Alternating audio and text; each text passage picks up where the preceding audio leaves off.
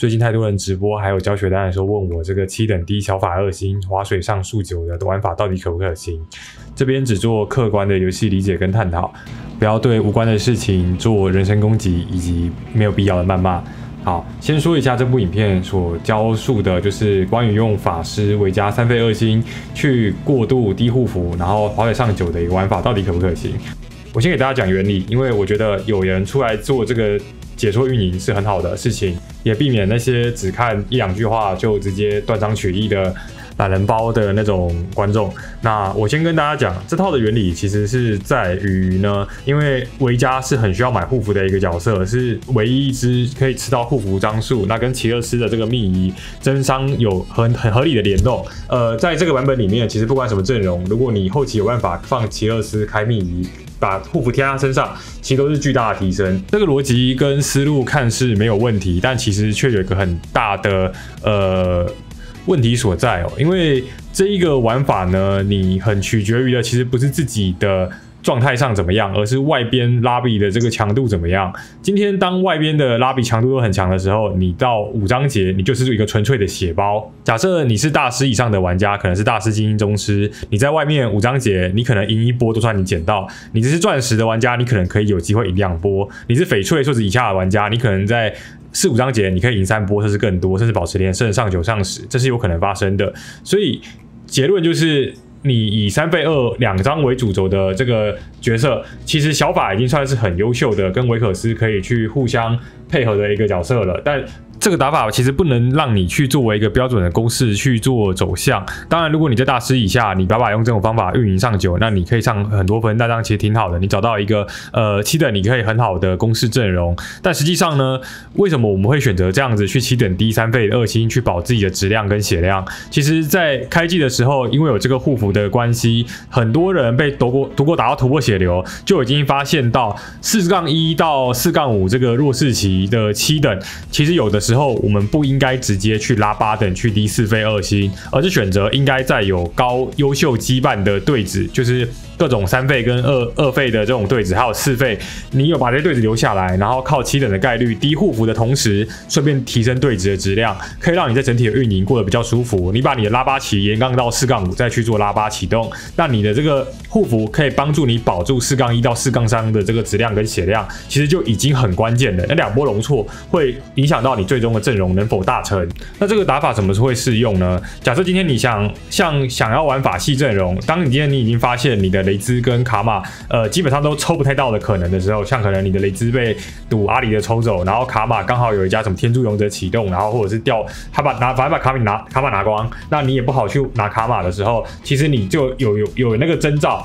然后你发现你四杠一、四杠二上八的钱又其实不是很多，你这种时候就可以选择用这种打法去延缓你的这个上八的启动期。那这样子会对你整个运营来的相对平滑很多。呃，选择赌维克斯跟小法其实是一个很好的选择，因为你还可以顺便抵耐掉就是想要赌纯粹的维克斯跟小法的赌够。但实际上，呃，如果你是拿到经济超载的三费。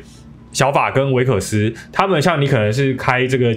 微光龙鳞的这个彩色局去做启动，你会看到像在比赛的时候，Terry 就曾经用这个七等低了。呃，小法跟威可是三的同时，低调其中一只三选择去上九运营的一个玩法是直接打到吃鸡，但那个前提是建立在他有一只三倍三星，而不是直接二星就选择去划水上九。Terry 那一局很明显是把法是把影片所有所有的上限全部找出来了，而且他那一局在五杠一的时候就已经双三，五杠三的时候就已经来到了九等，且可以基本上说是要比。这个所谓的数九低法的大成在成非常多了，但劳斯在这样的情况下呢，他仍然被人家打到剩下一波的容错，差点就暴毙了。那你就知道，如果在顶分段你用这样的玩法去数九，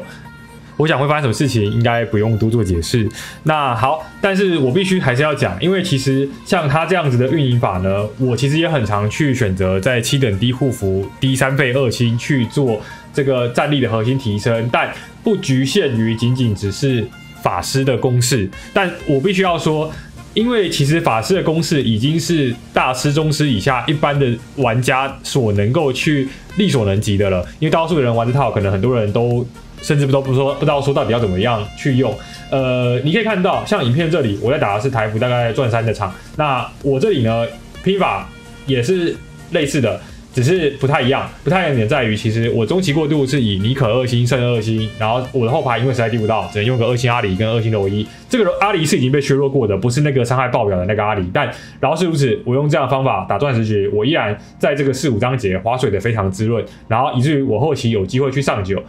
最后九五鬼转，当然没有能打过本来就已经走好的大成的阵容，但。这也真正说明了，其实它的这个玩法是完全没有问题的，因为其实我们自己平常也偶尔会有用到这样子的局，这也是为什么高端在打低分段基本上在炸鱼，外加他们相对不容易暴暴毙跟后世许多。呃，还有一个点就是。这个版本考验大家拼阵能力太多了，但是密仪的奇乐斯的护符现在变成是一个无可替代的在后期开上线的方案，也就是说，其实这季还有很多五费卡，但都不如奇乐斯丢上去开两密仪，然后帮他贴在护符贴在他身上。这也是为什么阿离到现在即便被砍，他还是这么强。在前几天的影片底底层，阿离为什么还能继续活着的原因也介绍过了啊。那这边总结一下，我知道有的人还是懒得听这些基础原理，那懒人包就放在这里了。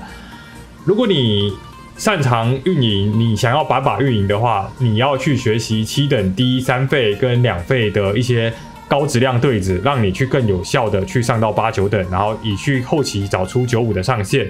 影片这个教述的这个法师维加加维可斯的一个法师过渡上九，其实只是一个呃引导的方向跟观念。这一季的可组合性羁绊太多，并不局只只局限于这一个。公式阵容，但如果你是新手玩家，钻石以下的话，你只用这个公式阵容，我认为你上到钻石甚至上到大师，应该都没有什么太大的问题。呃，不过你在这个过程中，你就开始需要去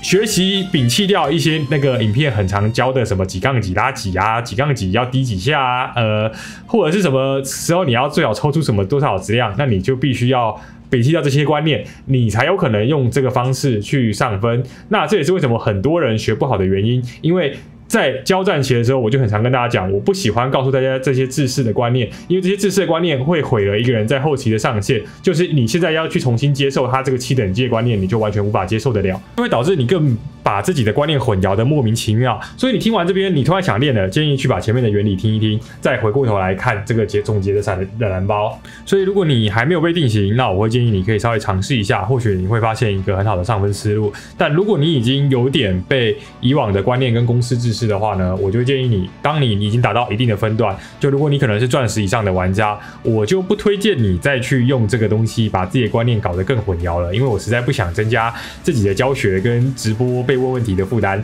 那如果你是大师以上的话呢，呃，你原本其实玩的就已经很好了，那你偶尔可以稍微在零分的时候，或者是发现你真的没牌的时候，去练一下这样的方法，然后试试看效果。这个练会了，也许某些这种天崩老八局，你就靠这个玩法，至少玩到狗分、狗到分。吃鸡可能不容易，但是狗到分这个玩法，必须要说它完美的避免你老七老八，这个是很肯定的。好了，那希望以上这支影片的补充对大家的观念更有帮助，也希望大家可以尽量避免减少用公式在玩联盟战棋，毕竟你们上数学课的时候你们都没那么认真。啊，那本期片这边告一个段落了，那我是 Y 一，大家有兴趣可以把这把看到最后，这把只是我实况随便捡找的一场素材，但可以看到就是这一局拼到了最后，差点打到吃鸡，低的再好一点，对手质量稍微再差一点，其实就已经吃鸡了。